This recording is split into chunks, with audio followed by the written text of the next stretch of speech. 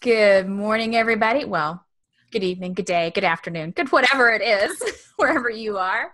I am Dixie with the Design and Style Podcast, a podcast for designers by designers. I am one of your co hosts, and the other co host is the ever effervescent Rachel with Rachel Moriarty Interiors. We are so excited to get to talk to you guys today. Um, so, we've seen some things pop up with our visibility challenge and and one of the things that we've seen a couple of times now is people saying i don't think my people are online. And today we're going to tell you.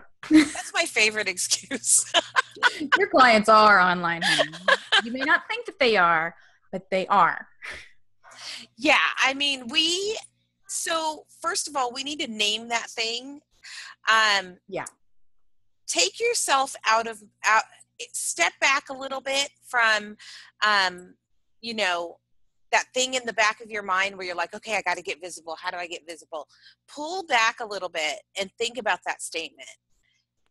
It doesn't make any sense. Everybody is online. Yeah. Everybody is it's, online. it's 2017 it no, yeah it's 2017 it doesn't make sense to say my clients are on aren't online. Mm-hmm. it makes absolutely no sense. So i like to name that thing that little thing that's telling you that there's your clients aren't online that is actually a, a story it's an upper limiting belief. It um and it's you know if you drill it down enough it's resistance and it's fear. Yeah. That's its name it's you know? So if you want to say Thank you, fear. Thank you, resistance. I know you're just trying to keep me safe and keep me from falling on my face, but all I'm trying to do is grow my business here. You know what I mean? Like, yep. put it in check. Like, thank it. You know, I, I actually, back in the day, this is so crazy. I just remembered this, Dixie. I don't even think you you and I have ever talked about this. I used to um, personify fear and resistance and and write letters to them. Ooh. Yeah, like okay, fear, I get it. Like I mm-hmm. thank you for always keeping me safe. Well, yeah, because it's a built-in instinct that's there. Thank God. Think of all the times that fear has saved. You know what I mean? Like, oh, I'm going to cross the street. That I'm getting a weird vibe from that dude, or you know what I mean, or mm-hmm. just whatever. I mean, yep. we want fear there. We, you know, we need fear, but you know fear shows up in the weirdest ways at the weirdest times when you're like really? Just going to go on facebook live for three minutes? Fear it's not a big deal. You know? So that if that is you know it sounds weird but if you personify it and talk to it like it's your buddy you know like mm-hmm. hey chill out be cool like we're just doing this thing here not a big deal. Um that might be a strategy you know, to help you. Like, yeah. and it's so funny. I don't know why. I just remembered that. I think it was, it was perfect timing is what it was. Yeah, exactly. So, so if we look at this from the business sense, you know, which we look at it, which we do, because there's two of us. We've got to come at it from all directions here. From the business side, if you keep hearing about retailers who are having problems because people are buying things online, that should be your clue right there. It's not less people are online, no, more people. More and more every day. My grandfather, who is now 90 some odd years old, was one of the first people that I knew who had an email. He had email years before I did. Mm-hmm. This is not a generational thing. Um, yeah. I see people of all shapes, sizes, ages, everything online. Yeah. My grandfather just got I mean, you know, my grandmother passed. She was the right. one that was the Facebook person. She mm-hmm. loved mm-hmm. to see all the family and all that. He just this weekend at my my niece's uh, baptism got, you know, one of the family members gave him his new smartphone and it's getting him all set up. So you know, mm-hmm. it's like, but that's how mainstream it is. Where it isn't weird for right. you to be like, don't put your real name on. You know what I mean? It's mm-hmm. like not that anymore. It is so commonplace. Mm-hmm oh, I could, I could, I get really wound up about this one. It's my favorite excuse to hear because, um, you know, I, th- I think I remember definitely you know even when i don't when i feel like i don't want to post it's like well you know i get this thing well no one's watching anyway or people are going right. to get so sick of you right you know there's but, like all of those stories but if you don't put it out there like if you have been doing it and then you stop do you i have people say hey where'd you, you go? Yeah it's weird. Yeah exactly.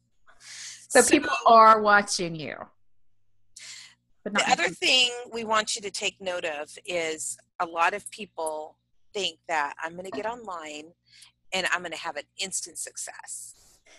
Or if I just, you know, I'm going to start putting this effort and then, you know, five days go by, you know, of consistent mm-hmm. effort and nothing's changed. Mm-hmm. They, so they think, I mean, yeah. nothing visible changes, right? It's, right it can it, it can happen um but you're you're creating a relationship you wouldn't meet somebody in person and after five times be like so you want to get in bed with me uh-huh. or you know you want to hand me $3000 to do this thing right we're priming people it does not it is not instant roi it's not going to happen from being visible five times and interior design specifically is a very personal thing. That's the whole point. We want to make their homes right for them. We know all kind and we talked about this a little bit with Stephanie last week. We know all kinds of details about these people. Mm-hmm. They need to be able to trust you. Absolutely. And the no like trust, which is something that we can beat into the ground, but it's always going to be true.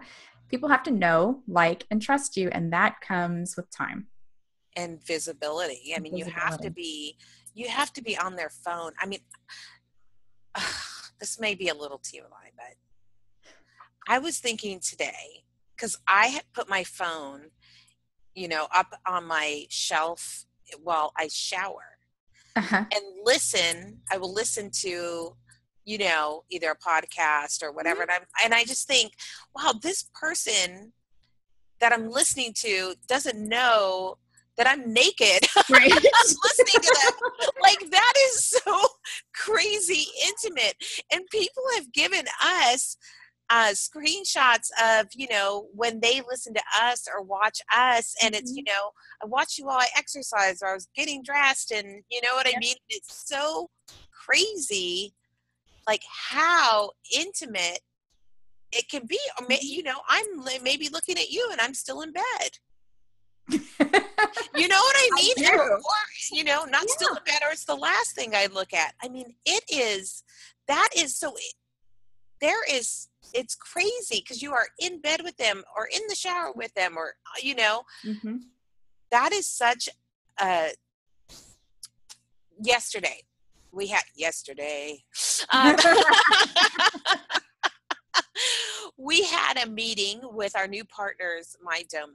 Mm-hmm we hopped on video and went straight into talks, right? We didn't, there was really no niceties or whatever.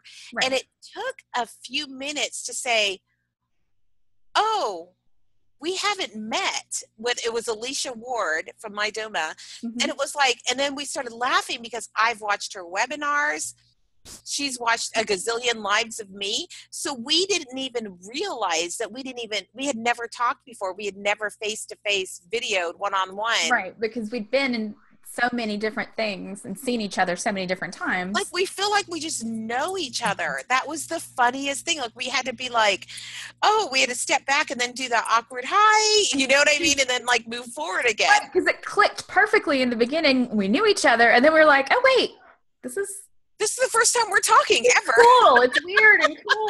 okay. Acknowledge that. Move on. so that is, I mean, that's definitely, yeah. you know, uh, that's, that's the whole point. We have all gotten to know each other by seeing what we're putting out there online, which brings up, um, it's not only not always instant. In fact, it's usually not sometimes the projects that you get are not going to be what you think that they are. It may not be a project with a design client. It may be a partnership with um, Anthropologie. right or you're a design blogger we are all design bloggers Right. it can be you know you may get recognition from a brand Mm-hmm. saying this girl is like we want her to be the face she's in it she's got a you know a following of mommies and Mhm. stay-at-home moms which is our perfect client and we love her blog you Yeah. know she's so informative she writes great it could be that and then you're making sales all of a sudden your your blog's making money Mm-hmm. Or even little things like um, a couple of years ago, wasn't that long ago, within the last year, it feels like it's been a couple of years ago. Within the last year, I did a video talking about floor, F L O R, floor carpet tiles. And I talked about why I love them and how they worked. And they shared my video, which meant more people got to see me. Other people outside boosts your visibility with your own people.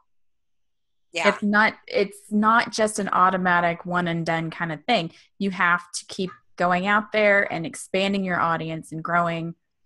that's that's happened to me we were at a like kitchen showroom and same thing they had this cool mila appliance that made like Mm. cappuccinos you, it was like push of a Oh. button and it made the foam and everything and uh, we were like whoa let's do a live with this we did a live and um ended up being shared all over italy because we didn't know but the kitchen showroom the brand was from italy Mm-hmm. and so we were like going all over the world this little thing kept getting shared and shared and shared it was crazy so you just never know That local appliance store. I'm in a commercial. Like you're in a different videos. commercial i Yeah. knew you have to share that in our group I I think I did once. no you didn't Yeah, no promise. No you didn't it's been a while. i think you shared it on our page Mm, you may be right.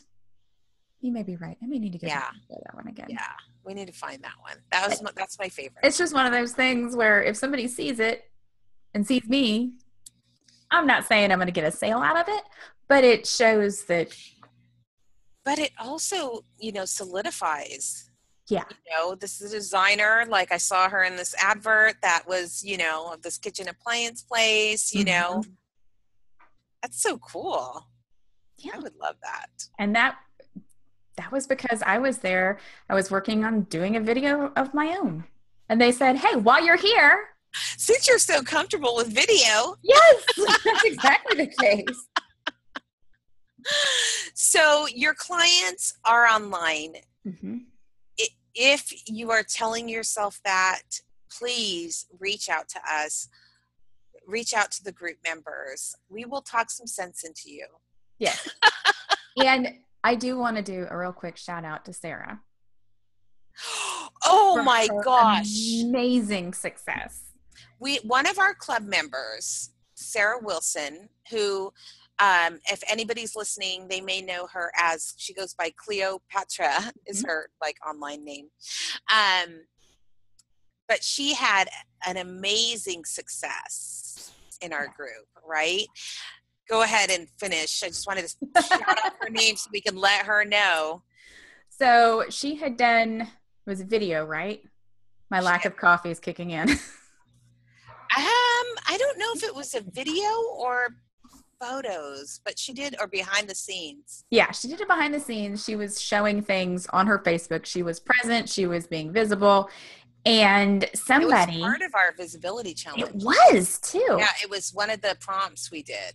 So she said, I just want to let, she told us, the whole group, I want to let you know that this does work because I had this lady contact me because she saw me talking about the kitchens or, oh, it, yeah, it was a behind the scenes. It was because it was a bathroom that she was redoing. And everybody got all excited. That's great. I loved it though when she came back and said, you know, my client said that she had been watching me for months months. I mean, something like seven or eight months. Mhm, Never commented mhm. anything. Mhm. Just was looking. She'd looked at several other designers, and it hadn't. Nothing had clicked for her except she was so intrigued by Sarah. Yes. She had had she had saved her contact information just in case, And then watching that video was the one thing that she was like, was you know, you're the person that I need. Yeah. You don't know when that tipping point is going to come.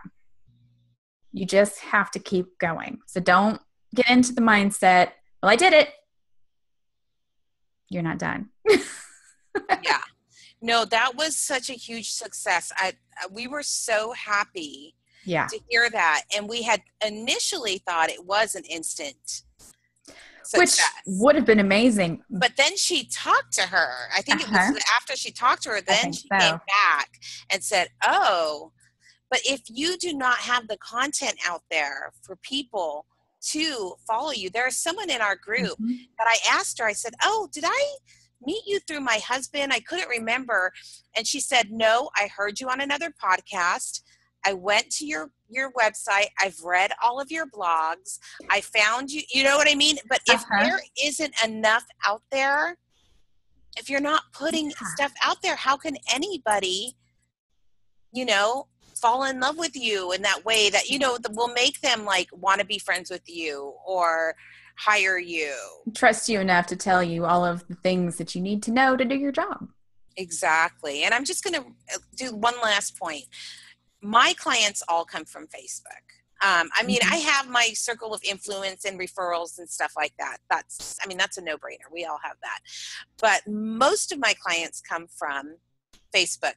And none of them, exception of one, ever comment on anything that I put out. No. They never comment on my live feeds. They never comment on my projects. They never comment on anything. Um, but when I meet with them, they'll say, "Oh, remember that project that you posted that had this? They've mm-hmm. seen it, they've noted it. Um, they'll feed it back to me in our initial consultation. So they're there and they're watching. And the husbands are watching usually under the wife's profile if they don't have their own, yep. you know. So your clients are online. I guarantee you that your clients are online. And you know, on top of that, I was telling Dixie I was looking at my clients, my current clients right now. They've gotten all online, and I have two lawyers, two doctors, a politician, and an Episcopal priest. That was my first. he had hired me when I first sent that intention that I was going to you know, do design as a service right. because I was working nine to 5 mm-hmm. He was the first person that hired me for his church, and now I've, you know, for over these last couple of years, I've done several projects for him in his in his um, own home. But you know, these are, you know, politicians, doctors, lawyers. You know, I mean, these are yeah. the people, and I get them Everybody online. Yeah. And uh, one other little teeny tiny little thing that just popped into my head even if they're not liking and commenting or asking questions, they're paying attention to how you are answering the questions that other people ask. And that's what makes them feel comfortable too. They know that you're not going to go, You want to do what? yeah. Don't do that. They know that you're going to say, Well, I understand what you're saying, but da, da, da, so yeah. it's all about putting yourself out there and, and letting them get to know you so easy. So much easier to do it one way, right? Yeah. Especially if you're that awkward in person, it's like so easy. it's so easy. I don't know anybody who's awkward in person. I don't know anyone like that. All right, you guys, thank you so much for listening to this episode of the Design and Style podcast. Um, Dixie, you want to do all the Absolutely. Yes. You can come over and find us. Speaking of the club, head over to Facebook. It is facebook.com forward slash groups forward slash design and style podcast. And you can check us out and find out what we're all about. And what are we all about? Visibility. Visibility. Bye, guys. Bye.